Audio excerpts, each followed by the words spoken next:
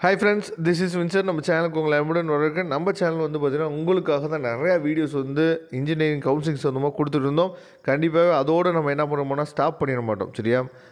கண்டிப்பாக உங்களுக்காக அடுத்தடுத்து நம்ம என்ன ஃபஸ்ட் செமஸ்டரில் நீங்கள் என்ன பண்ணுச்சு பார்த்தீங்கன்னா ரொம்ப கான்ஃபிடண்ட்டாக ஃபஸ்ட் செமஸ்டர் எக்ஸாம் வந்து நீங்கள் எழுதணும். அதுக்காக நம்ம என்ன பண்ணுறோம்னா ஃபஸ்ட் செமஸ்டர் வரைக்குமே உங்கள் கூட நம்ம வந்துகிட்டே இருப்போம் எப்பயுமே.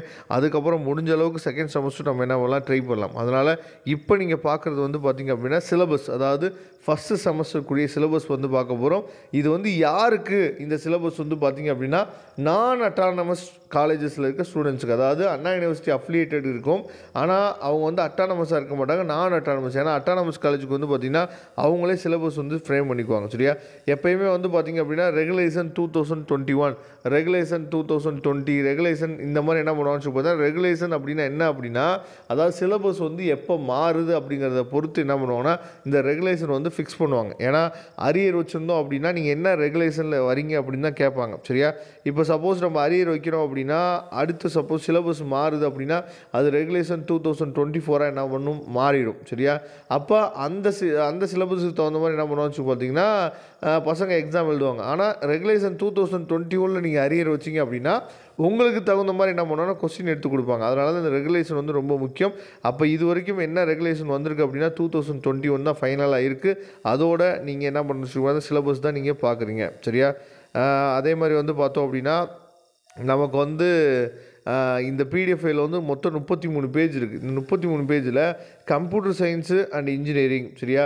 அதுக்கப்புறம் ட்ரிபிளி e, வந்து பார்த்திங்க அப்படின்னா இந்த மாதிரி என்ன பண்ணாங்கன்னா பிரான்ச் வைஸ் உங்களுக்கு தனித்தனியாக என்னென்ன கோர்ஸ் இருக்குது இப்போ செமஸ்டர் ஒன்றுக்கு வந்து பார்த்திங்க அப்படின்னா செமஸ்டர் ஒன்றுக்கு மேக்ஸிமம் வந்து எல்லாத்தையுமே ஒரே மாதிரியான கோர்சஸ் தான் இருக்கும்.